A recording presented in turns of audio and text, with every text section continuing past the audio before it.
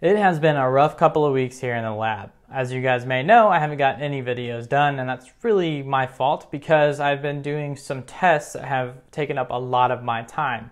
If you're interested to know what an all NVMe SSD uh, array is like in Unraid, I'll drop a link in the video description below. And this is all text based and it is a blog post. It is not a video, but if you're interested, I did about two whole weeks worth of testing on that uh, to get some information that may help those of you that are curious to know why you shouldn't be doing it.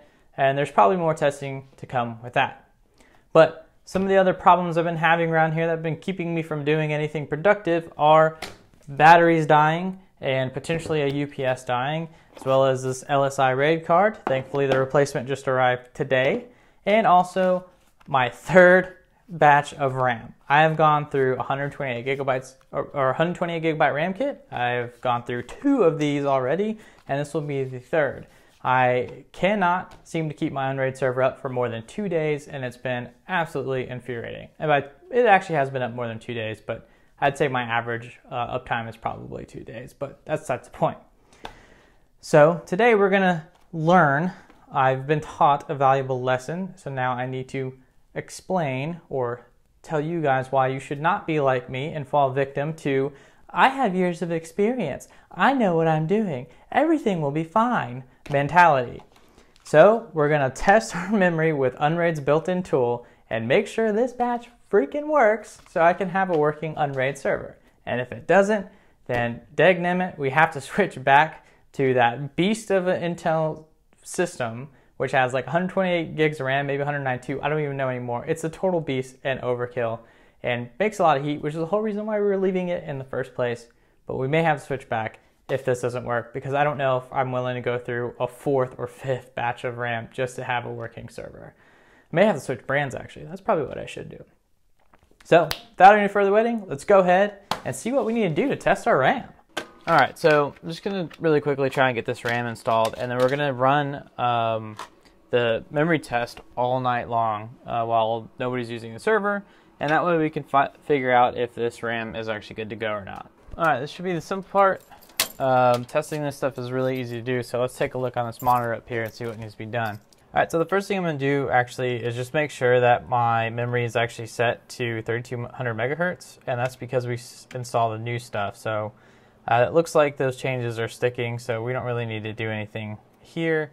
And now we're just going to boot straight into the OS. And from here, we're literally going going to select the memtest86 plus.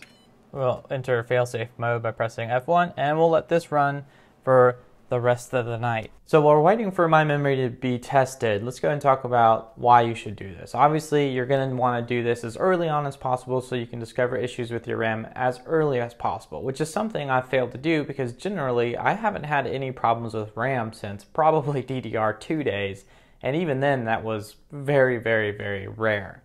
So if you're starting a brand new build or you're getting brand new RAM in, you're probably going to want to test it. Now, how long do you test do this test for? Because the test, as far as I know, will run indefinitely as long as you let it.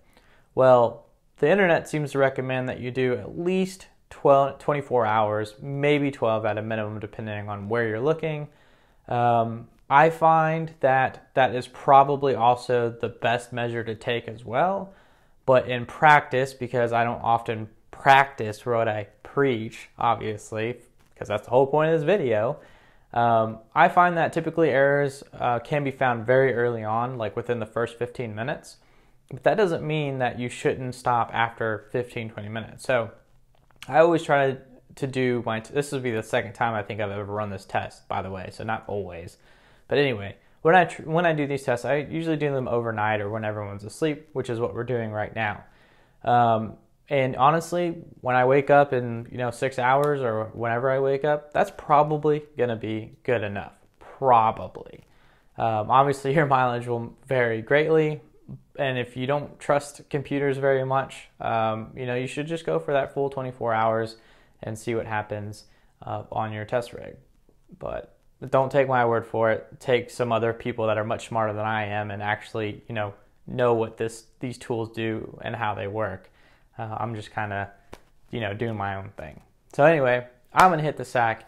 I will see you guys bright and early in the morning to see what results we have on my RAM. The next day. All right, so looks like uh, the test has been running for about six hours and 53 minutes. We've made one pass.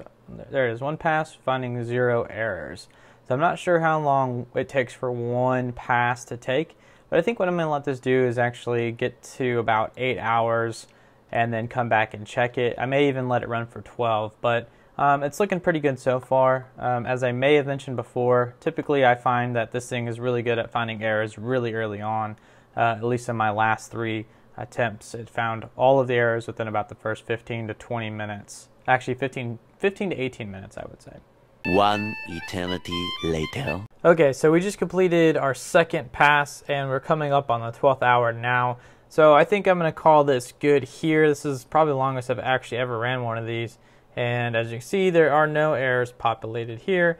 And also it's telling us there's zero arrows, errors, arrows, wow, errors there. So uh, yeah, I'm gonna call this good and I guess we're sticking with Ryzen. All right, everyone, after a grueling 12 hours, I think it's safe to say that the system should be stable from here on out, hopefully. And let this be a lesson, not only to myself, but to you, that if you are planning to go out there and get a hot new piece of hardware to make sure you use protection and also go get tested before you stick in new RAM into your system because Lord knows what it's been through and what imperfections it'll bring to your hardware. So, on that note, thank you all for watching, and I'll see you all next time.